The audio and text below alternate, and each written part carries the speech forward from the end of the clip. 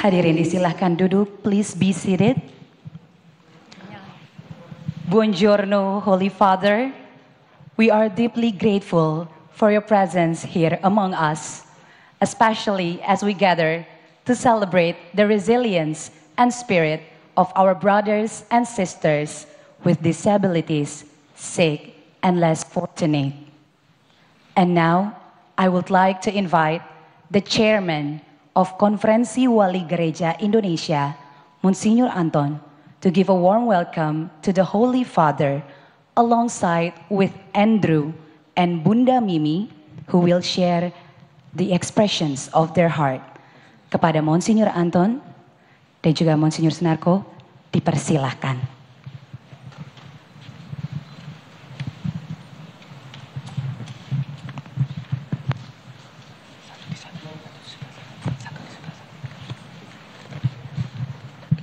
Saya mengundang Monsinyur Sunarko sebagai wakil ketua konferensi. Silahkan untuk memulai.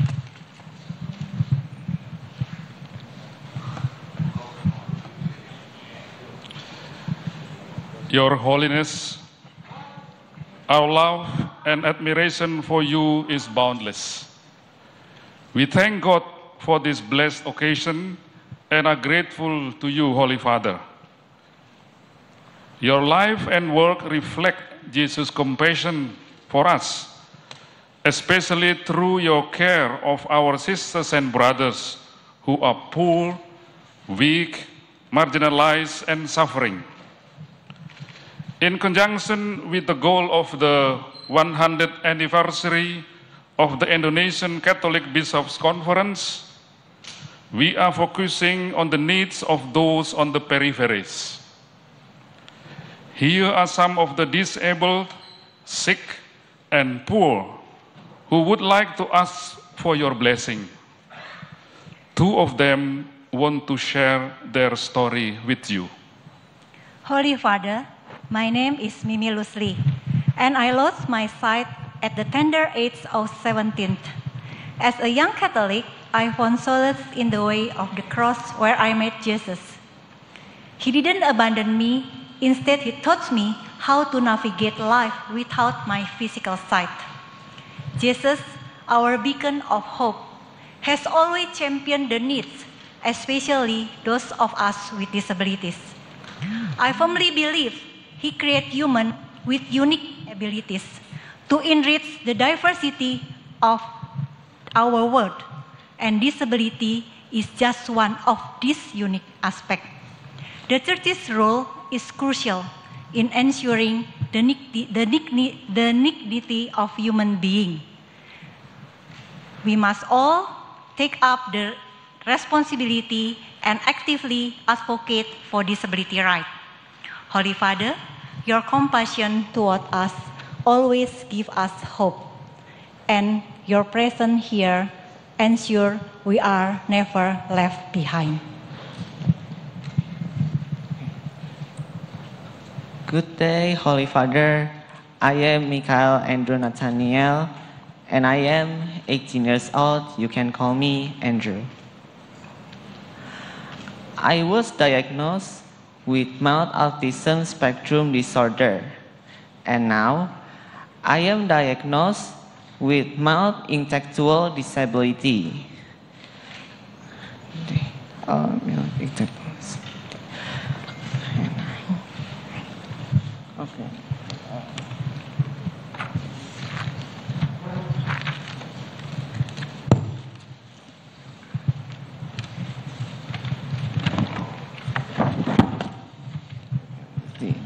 Uh, I go to therapy sessions for my body and my brain to function properly. My parents love me unconditionally. They provide me with the best therapists and expert in town. I am proud to share that I have been selected as the East Jakarta contingent for the Jakarta, East Jakarta contingent for Paralympic Games for swimming. I want to be an independent person, so I started by, by stock horse and guitar and drum lessons. Holy Father, Pope Francis, thank you for listening to my story, visiting and blessing us all. Please bless my uh, wonder, uh, wonderful parents and all parents, as special with special children worldwide. Santo Padre, la sua presenza e il nostro incontro qui ci portino la gioia del Vangelo e rinnovino la nostra speranza sulla via della santità. Così come ci chiede sempre di pregare per lei, la prego, Santo Padre, tenga anche noi nelle sue preghiere, che possiamo imitare l'amore incondizionato di Dio con una particolare attenzione per i poveri, che come hanno condiviso Mimi e Andrew, non devono essere dimenticati. Grazie, Santo Padre. Terima kasih kepada Monsinyur Anton dan juga Monsinyur Sunarko, juga Andrew dan Bunda Mimi.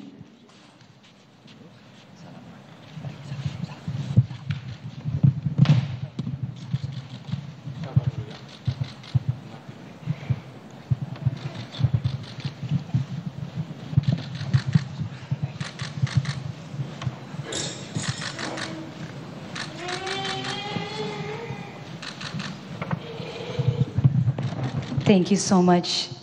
Silakan kembali ke tempat duduknya. Brothers and sisters in Christ, Pope Francis has dedicated his life to spreading the message of God's love, compassion, and mercy to every corner of the world. And right now, Holy Father, we are honored to welcome your words.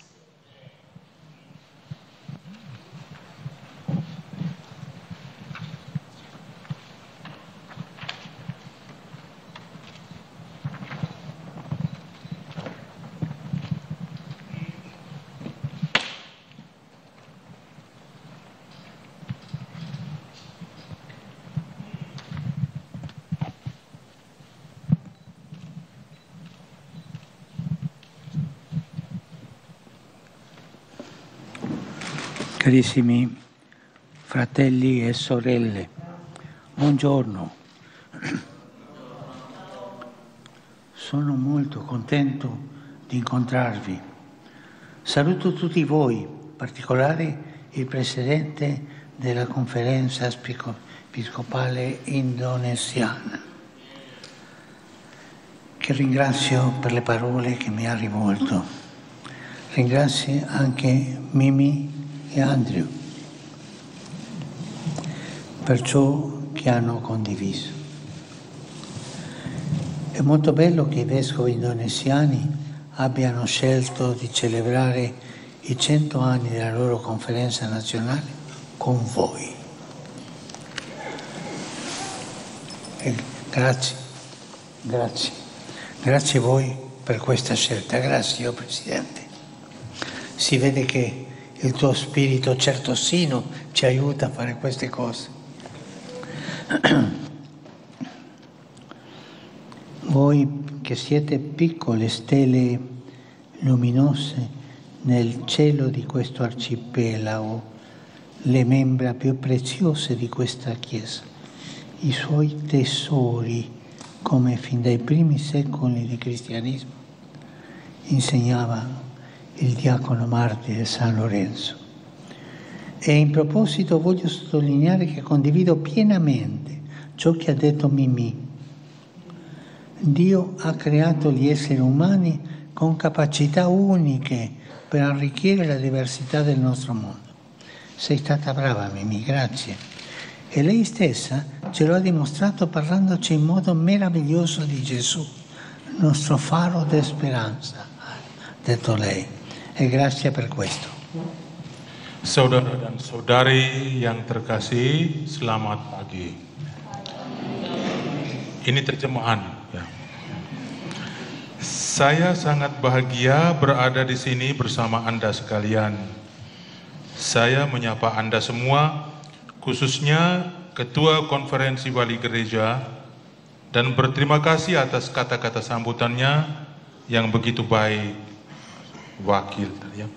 Saya juga berterima kasih kepada Mimi dan Andrew atas apa yang mereka bagikan bersama kita. Sangatlah tepat bahwa para uskup Indonesia memilih untuk merayakan peringatan 100 tahun berdirinya konferensi wali gereja bersama-sama dengan Anda semua.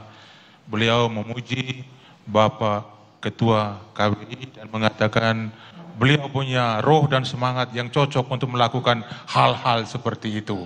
Ya.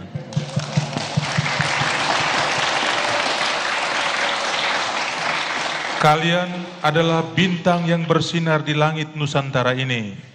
Para anggota yang paling berharga dari gereja ini. Kalian harta karunia. Dalam kata-kata diakon dan martir Santo Laurentius dari masa gereja perdana, Izinkan saya memulai dengan berkata bahwa saya sepenuhnya setuju dengan apa yang Mimi beritahukan kepada kita. Allah menciptakan manusia dengan kemampuan-kemampuan unik untuk memperkaya keragaman dunia kita. Ia lalu menunjukkan pada kita tentang hal ini dengan berbicara secara indah tentang Yesus sebagai mercusuar harapan kita. Terima kasih Mimi.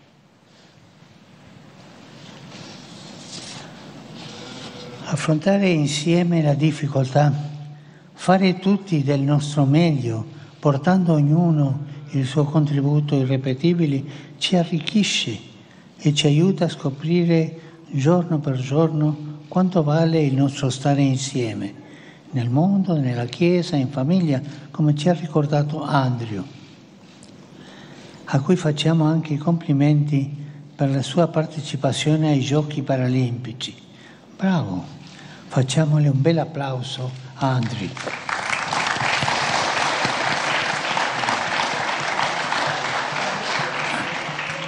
E facciamone uno anche a tutti noi.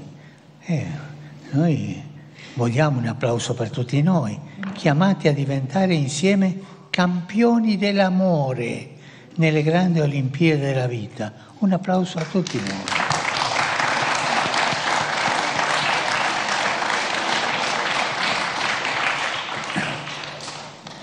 Carissimi,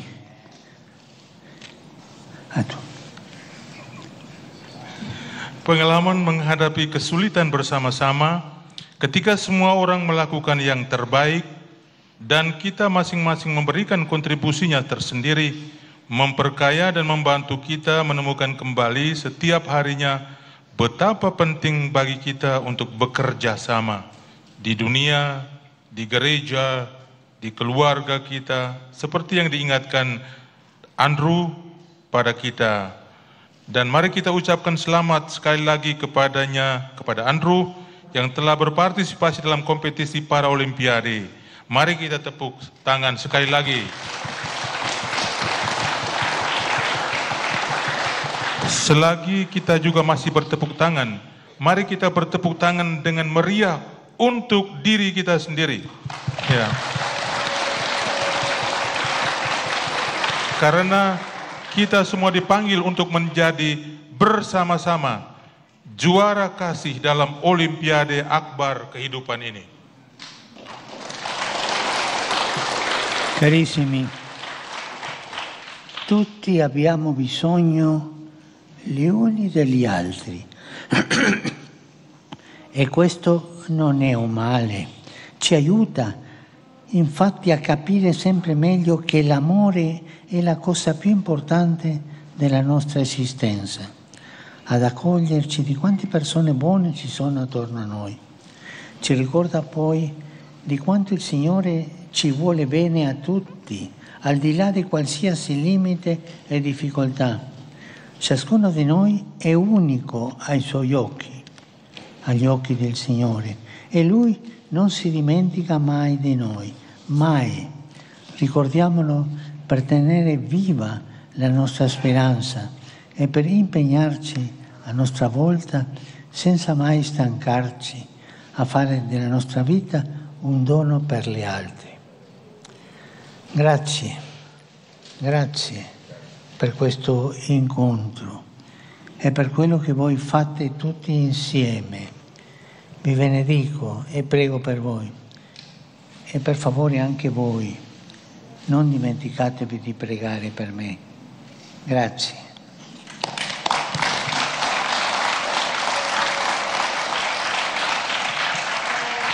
Terjemahan bagian terakhir, para sahabat terkasih, kita semua membutuhkan satu sama lain, dan ini bukan hal yang buruk.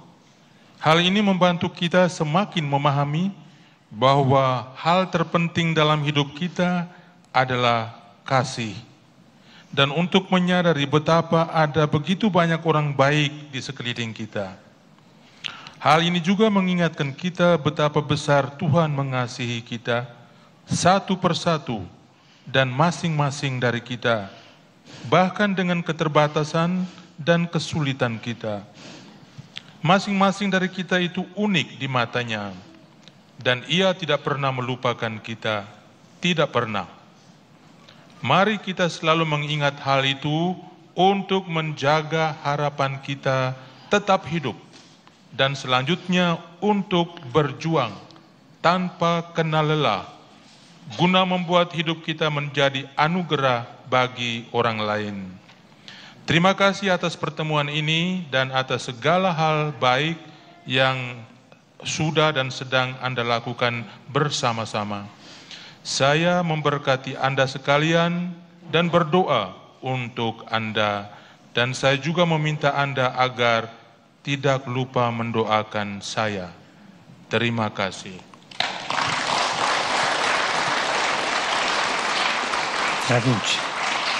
Anche oggi vorrei fare gli auguri a questa mamma che non è potuta venire e a letto, ma oggi fa 87 anni.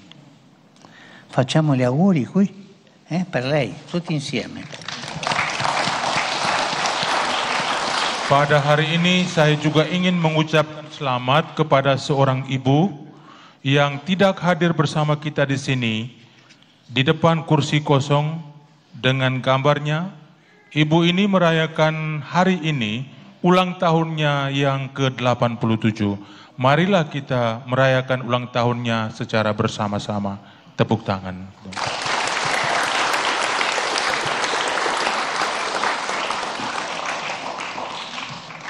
Grazie. Adesso diamo dei rosari. Questi buoni, eh? Buoni? Eh sì. Eh, non so se ci arrivo per tutti quanti. Come? Non so se ci arrivo per tutti.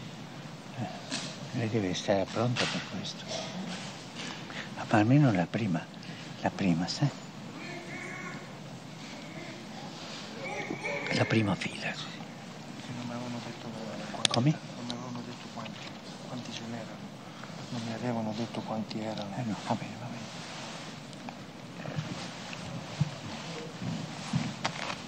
Grazie, Holy Father, for your inspiring words and guidance. Terima kasih pula kepada Romo Markus Solo SVD yang telah menerjemahkannya.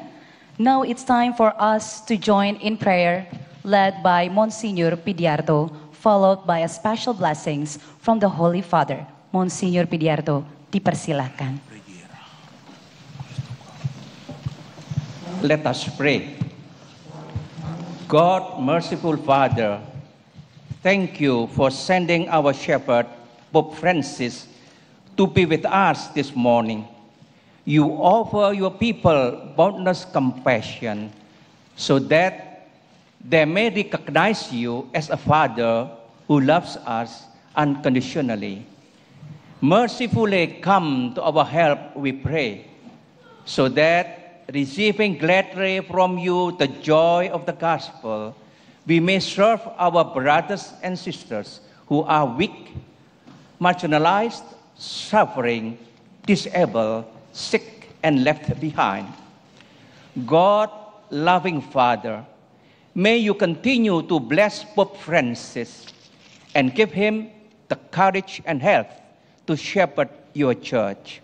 We ask this through our Lord Jesus Christ, your Son, who lives and reigns with you in the unity of the Holy Spirit, God forever and ever. Amen.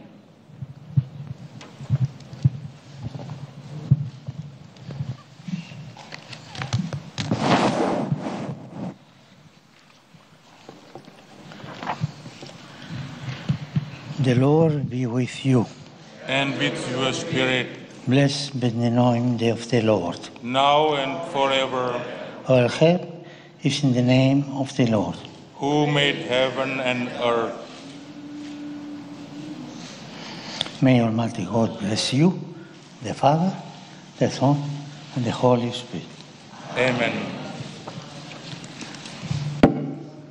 Holy Father, on behalf of everyone here, thank you so much. And may God continue to guide and protect you in your sacred mission. And before departing, Holy Father, we humbly ask you to make the first stroke on the canvas for Anfield.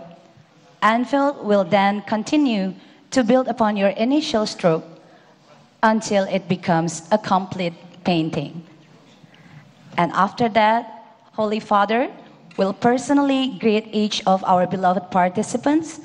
Teman-teman dimohon untuk bersiap menerima sapaan secara langsung dari Bapak Suci dan tetap di tempat duduk masing-masing sambil diiringi persembahan lagu dari Leticia Disability Choir.